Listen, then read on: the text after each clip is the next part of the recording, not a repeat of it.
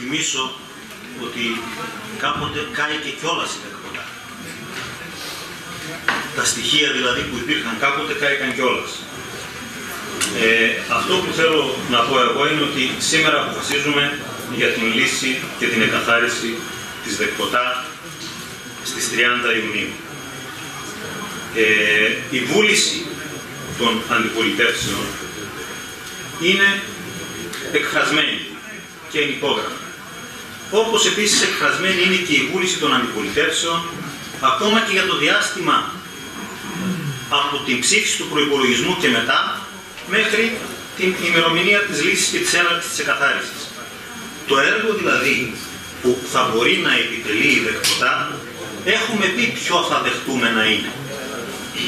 Επομένως, και το ξέρετε, επομένως, νομίζω ότι πολλά λόγια που λέγονται είναι περίσσια και ε, δεν έχουν περιεχόμενο και αντικείμενο.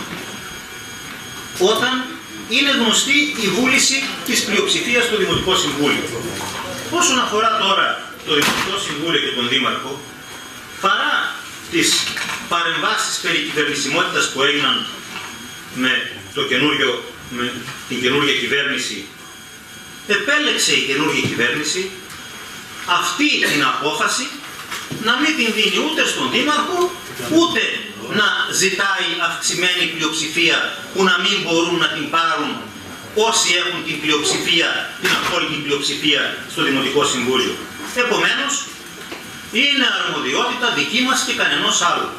Και όταν έστω και αυτό το λίγο ακόμα μας το έχει αφήσει ο νομοθέτης σήμερα, εμείς αυτή την απόφαση την παίρνουμε γιατί είμαστε δεσμευμένοι απέναντι στους δραμινούς που μας ψήφισαν. Ε, από εκεί και πέρα, ακούσαμε την πρόταση του Δημάρχου. Μίλησε για νέο κανονισμό της Ονειρούπολης. Μάλλον δεν ξέρει ότι δεν υπάρχει κανονισμός της Ονειρούπολης. Μίλησε ε, για αποφάσεις που θα είναι δεσμευτικές για το Δημοτικό Συμβούλιο από αυτόν τον υπεύθυνο, τον τι θα είναι και τους φορείς κτλ. Κανένας δεν μπορεί να δεσμεύσει το Δημοτικό Συμβούλιο για τίποτε. Οι αποφάσεις του Δημοτικού Συμβουλίου παίρνονται από τους Δημοτικούς Συμβούλους. Κανένας από κάτω μας δεν μπορεί να μας δεσμεύσει για τις αποφάσεις. Ε, μίλησε επίσης για το να προχωρήσουμε έτσι και, και το Δημοτικό Συμβούλιο θα αποφασίσει και θα κάνει κτλ. Σήμερα η νομοθεσία, ο νομοθέτης, προβλέπει συγκεκριμένες αρμοδιότητες για τον καθένα. Να μην κάνουμε πως αγνοούμε ότι πέραν της χρηματοδότησης της ΔΕΚΟΤΑ από τον προϋπολογισμό, το Δημοτικό Συμβούλιο δεν έχει καμιά δυνατότητα παρέμβασης στη λειτουργία της. Οτιδήποτε λοιπόν θα κάνει η ΔΕΚΟΤΑ από τη στιγμή που θα παίρνει τα χρήματα από το Δήμο, δεν θα δίνει λογαριασμό σε κανέναν παρά μόνο στο Διοικητικό της Συμβούλιο. Επομένως, δεν πρέπει πια να κοροϊδευόμαστε να λέμε ότι θα, θα, θα και δίθεν παρουσιάζουμε προτάσεις που μπορούν να είναι υλοποιήσιμες και μπορούν να περπατήσουν.